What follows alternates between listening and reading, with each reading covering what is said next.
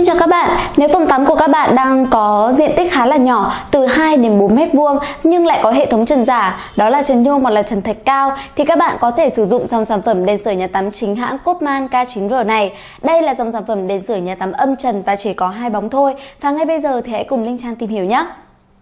Dòng sản phẩm đèn sưởi nhà tắm chính hãng Copman K9R này thì có sử dụng điều khiển từ xa và được lắp đặt âm trần với hai bóng hồng ngoại vàng có đuôi xoáy và mỗi một bóng này sẽ có công suất là 275W. Do vậy, cả đèn sưởi nhà tắm âm trần này sẽ có tổng công suất là 550W.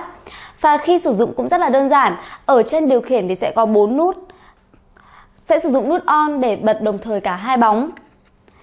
Sử dụng nút off để tắt đi. Đồng thời, nếu như các bạn muốn sử, chỉ sử dụng một bóng thôi thì chúng ta có thể sử dụng phím hit 1 hoặc hit 2 để bật và tắt một bóng rất là tiện lợi và dễ dàng sử dụng đúng không ạ? Đồng thời thì sản phẩm này cũng có thiết kế rất là nhỏ gọn, sẽ phù hợp với diện tích phòng tắm khoảng từ 2 đến 4 mét vuông.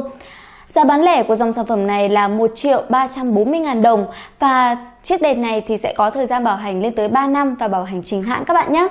Và nếu như phòng tắm của các bạn phù hợp với những tiêu chí kể trên thì hãy sắm ngay cho gia đình mình một chiếc đèn sưởi nhiệt tắm chính hãng Copman K9R.